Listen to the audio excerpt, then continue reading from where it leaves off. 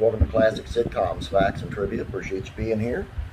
Uh, today's video is on um, how Kelsey Grammer, who played Frasier Crane on Cheers and on, on Frasier, uh, broke his silence on the death of his friend Kirstie Alley, who played Rebecca Howe on Cheers.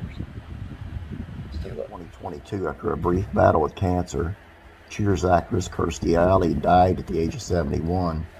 Following her death, many actors who worked with Alley paid tribute to her, but Kelsey Grammer, who played Frasier Crane, had been relatively quiet since her death. Now he has spoken up about his former co-star. Cheers ran from 1982 to 93 and featured a star-studded ensemble cast who played patrons and employees of the, the Cheers bar. Grammer was the face of Frasier Crane, who now had his own spin-off shows, and Alley was Rebecca Howe. Uh, recently, Grammer spoke about the long friendship he had with Alley and honored her memory. That's what he had to say. Grammer recently appeared on Wednesday, February 22nd episode of The Rachael Ray Show. Uh, the topic of conversation turned to Alley.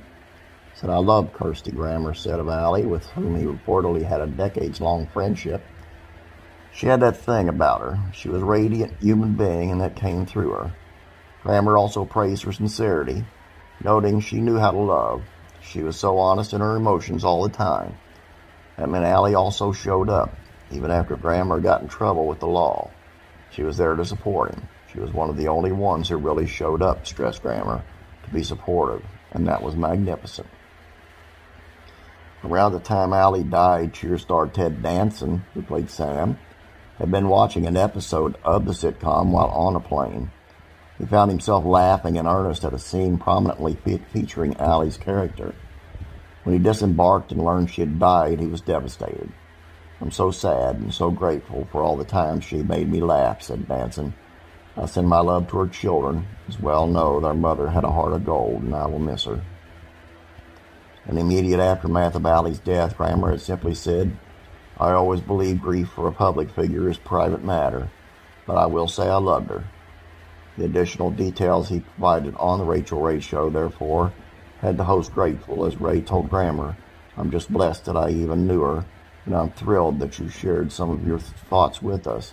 Thank you, my friend. Sadly, according to People, Grammer and Alley were supposed to be at a friend's book signing event. As Grammer recalls, Kirstie was notably missing, and about a week later, she was gone. Kind of a very young, kind of sad, really. Um, and I, I like the way he respected her enough to uh, uh, to wait.